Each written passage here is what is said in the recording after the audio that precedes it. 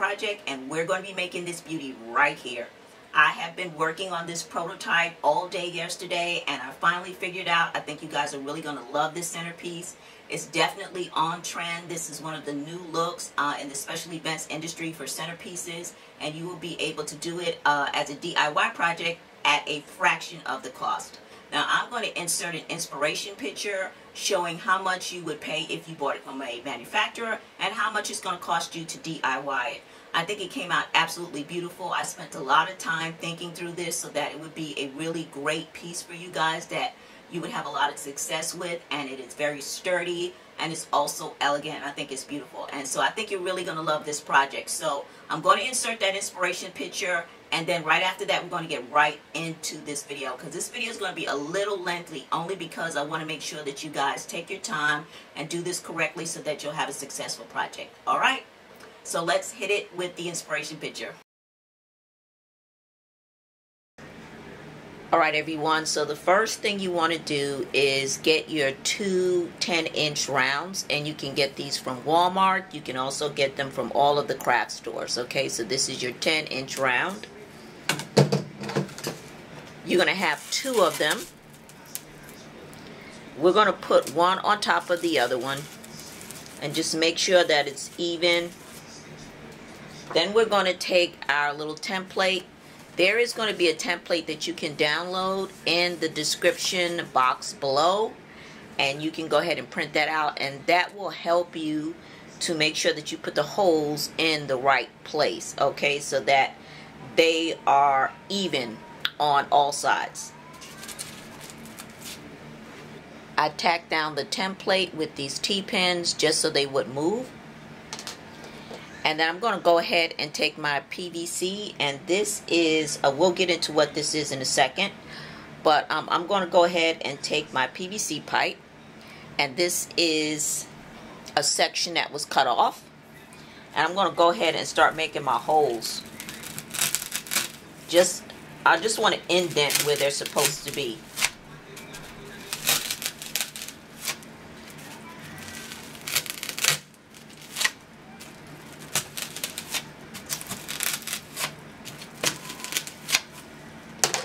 Now I'm going to go ahead and take my template off.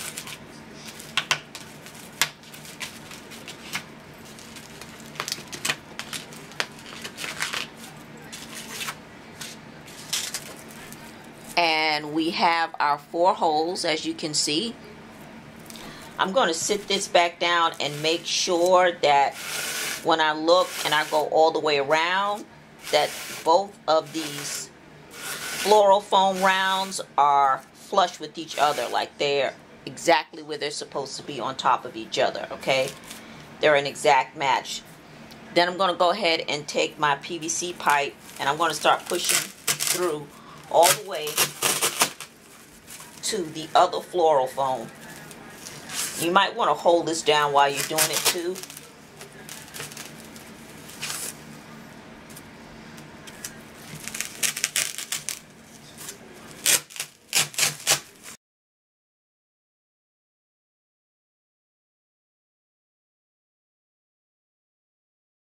Okay, so that hole came out a little bit bigger, but that's okay. It's not a big deal because the, the whole thing is that we just want to make sure that they're pretty much in the same vicinity as the other one.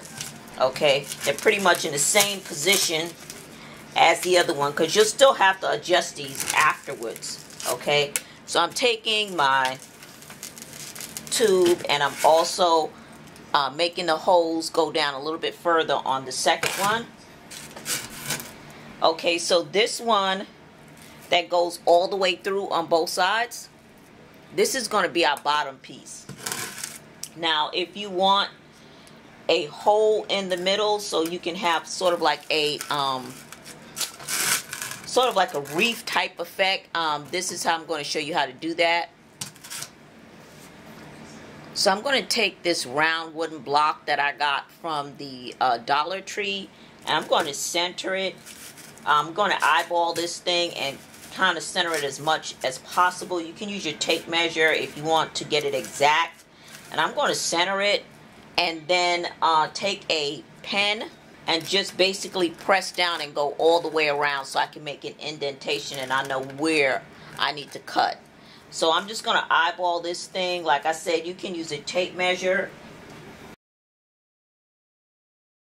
Once I feel pretty good about where I have this um, wooden uh, wooden plaque, I'm going to go ahead and take my pen, and just kind of go around and dig into the floral foam so I know where I need to cut.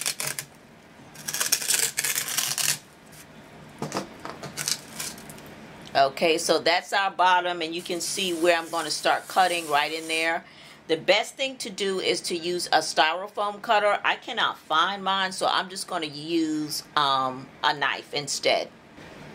I'm going to take a wood block or cutting board and put it right underneath it so I don't mess up my table. And I'm going to uh, start cutting this thing out with my knife.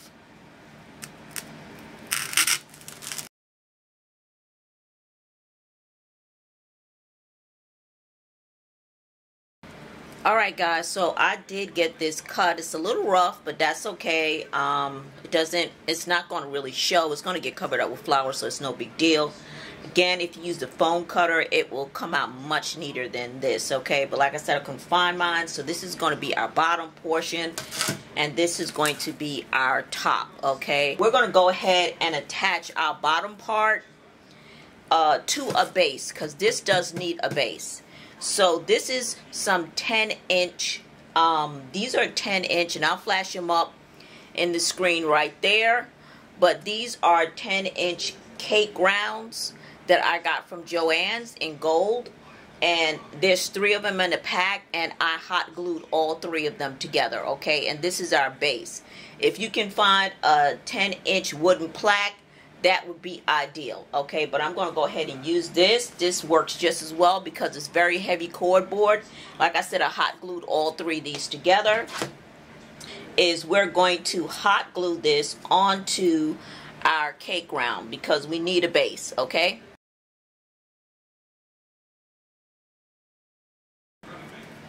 So we have glued uh, one of our um, floral foam rounds onto our 10 inch cake round. Okay, we've hot glued it on there. This is the bottom.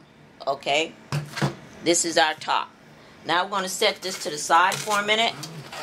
So this is the PVC pipe that we're going to be using. And this comes 5 inches tall. Now I went into Lowe's and I recorded exactly where I found this PVC. But I'm going to go ahead and insert the um, Lowe's clip that will show you exactly where to find this at the hardware store. Okay guys, I am in Lowe's and this is the one you want for 248 That is the symbol and everything on there. And these are um, connectors, I guess that's what they're called plexi pipes. I'm sorry, plexi pipes. The one for 248 right here in Lowe's. There you go, guys. So now that you know where to find this, what you want to do is you want to take a Sharpie and you want to mark this at 35 inches. So we have our tape measure right at the 35 inch mark and we're going to go ahead and cut that and I'm going to show you how we're going to cut our pipe we're going to be using this PVC cutter and uh, you can get this from Lowe's. I believe I might have paid somewhere around $16, $17 uh, for this. I believe it was on sale at the time. Uh, it may be 20 bucks, but this is by Lenox and this is the 1 by 5 16 max. So that's the max size that you can get in here to cut a PVC pipe. This is the bomb. Okay, this is the straight up bomb. I'm so glad I got this. So it's going to be a breeze to cut this pipe because this is only 3 8 so it's going to be super easy. What you want to do is just line up.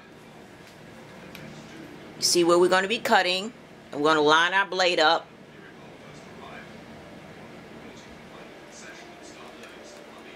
And then just hold our, hold our pipe steady and press down. That's it. Super easy and you get a pretty nice leveled cut too. And I didn't even have to lean it up against anything to get a level cut. This is pretty decent.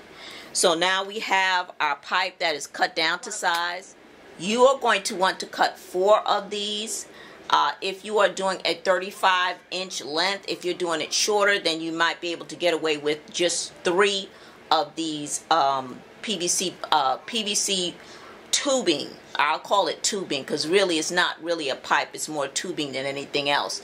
So you'll be able to get away with three PVC tubings as opposed to four. But for this particular project at 35 inches you will need four of these. What I want to mention is that we're going to need this round here. We're going to need to keep this and I'm going to show you why okay? So I'm going to get down on the ground because we got to get down and dirty for this Okay guys, so remember this um, piece that we took, that we cut out. We're going to need this, so we're going to set this to the side because we are going to need this. This is a very important part of keeping this whole thing um, steady, stable, sturdy. This is what you're going to need. So the first thing we want to do is we want to go ahead and start uh, putting in our hot glue put in a generous amount of hot glue and you can even put some on the uh, PVC tubing as well. Nothing wrong with that.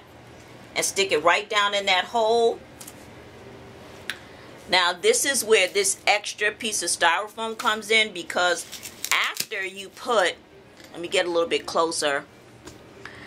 After you put the tube in and after you apply the hot glue it's going to eat up some of the styrofoam and you're going to need to fill that in. We're going to take small bits of styrofoam and just kind of build that hole back up that got eaten up by the hot glue. Um, uh, because we want to make sure that we are creating a nice base and we're also going to be looking at our tubing and making sure everything looks pretty straight. So we're going to be taking chunks, chunks of styrofoam and pushing it down inside of the hole wherever it was compromised and got melted away by the hot glue. And then we're also going to apply some more hot glue and then we're going to put some more chunks of styrofoam around it because we want to build that area up. That is very, very important in this project.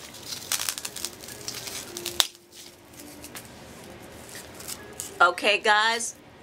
So if you can see that, we have built up around the hole with more styrofoam because this really gives a lot of support to our PVC, okay? Before we place the rest of these into our holes, we want to start bending these and you want to do it two at a time. So you want to take two of these and just start find the center and just start bending them because we need to kind of get them in position okay? Don't worry about the one that we just put in. I just wanted to show you how to put that in there. But we need to start bending these. So find your center and start bending. And they're very um they're they're bendable. They're not very bendable but they are bendable so if you can see, we already have a little bit of an arch in here.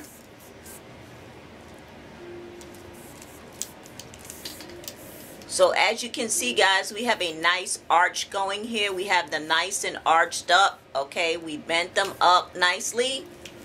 So once again, just take it from two ends and just start bending it so you can get a nice little curve. Don't over bend, okay, but just kind of get a curve going.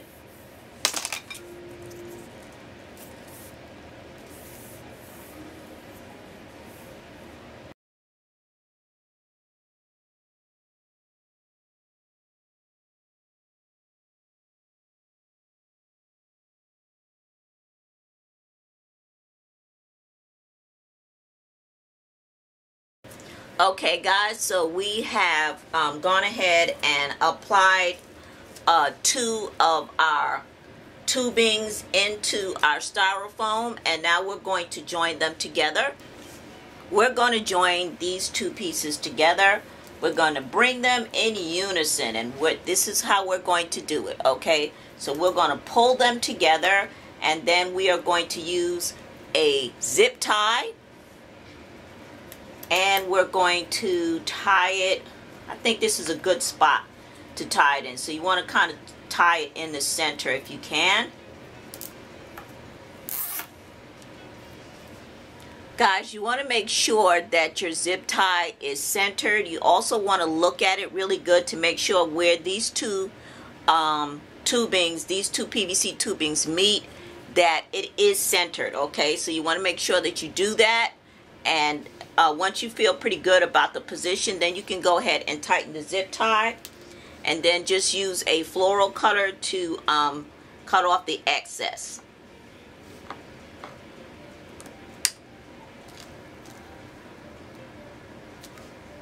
We're going to go ahead and add our other two pieces of PVC tubing. Same method, applying a generous amount of hot glue into the hole and then also applying hot glue onto the PVC pipe itself. We're going to take our other uh, zip tie and we are now going to join the other two pieces to the center piece, okay? So you're going to take your zip tie, and you're going to join all four of them together.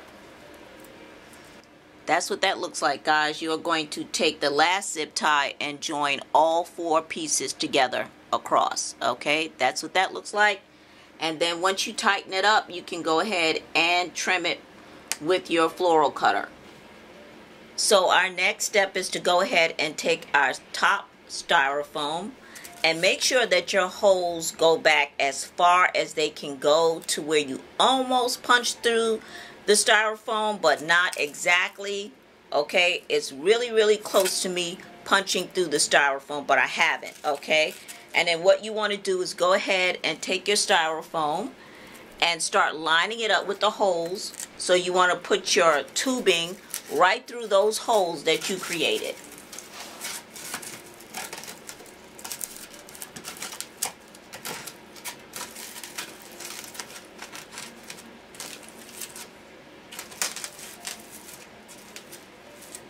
Now we want to take our leveler just to see um, how close we are to having this pretty straight on here. And you can purchase one of these from the Dollar Tree.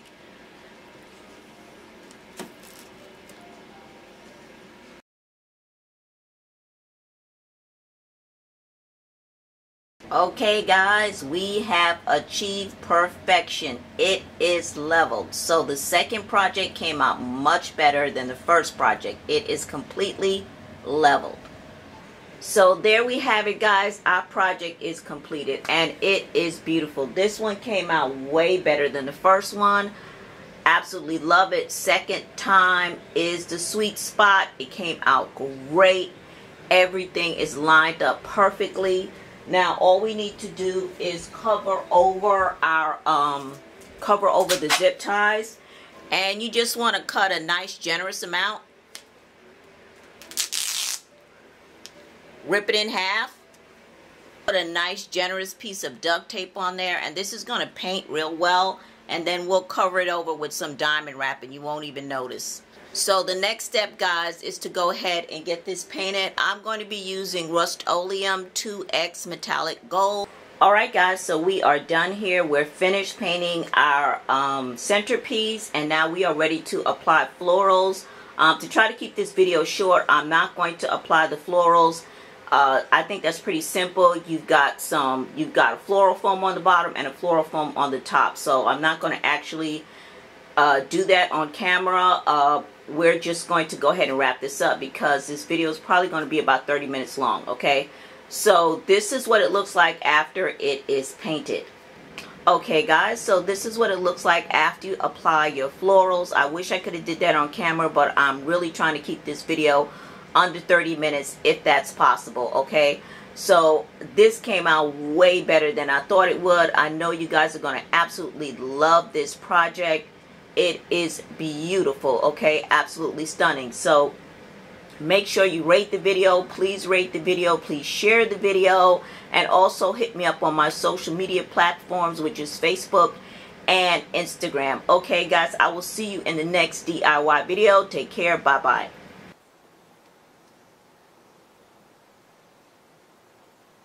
Okay guys, so I just wanted to insert this little clip. It's going to make the video a little bit longer, but I thought this was important. I just want to let you guys know that this is a sturdy project. I would not put this out if this was not sturdy. This is very sturdy, okay? It has a little bit of play to it, which is fine because of the flexibility of these PVC tubes. But this is a flexible project. Once you get this done, it's not going to bend. It's not going to tip over. As you can see, I literally have to move it to tip it over. It is not going to tip over. It's not going to lean. It's not going to bend. Okay, this is very, very sturdy. This can take the weight of silk flowers. Okay, make sure that you only do this project for silk flowers only. If you are trying to use fresh flowers, you will need to purchase one of these um, from China because it's made out of metal and you need metal in order to help hold the weight of fresh flowers and water soaked oasis because that stuff gets very heavy so you cannot do this project okay this is just for silk flowers only okay so this is a very good project and like I said it's super sturdy one of the things that's very very important that I'm going to keep highlighting is make sure you follow the directions in this video exactly how I told you to do it, not to be condescending, guys. I just, I love you guys. I just want to make sure that you have success with this project and you're super happy that you spent the time doing it. You always want to make sure that you follow the directions and reinforce with extra styrofoam around the openings where the pipe goes into the um, floral foam round. That is critical. It's very, very important. That's going to provide stability to this. And like I said, it's going to be a little flexible but when you get your flowers in here and you put this on the table, it stays still. The only way it moves is if you move it, okay? It will stay still. So this is super, super important that you make sure that you reinforce around the PVC pipes, okay? If you see anybody doing a YouTube video and showing you that you need to reinforce around PVC pipe with styrofoam, know that they jacked me and they took that off my video, okay? Because people love to do stuff and don't give you credit. So, um, this is it guys and I know you're really really going to absolutely love this project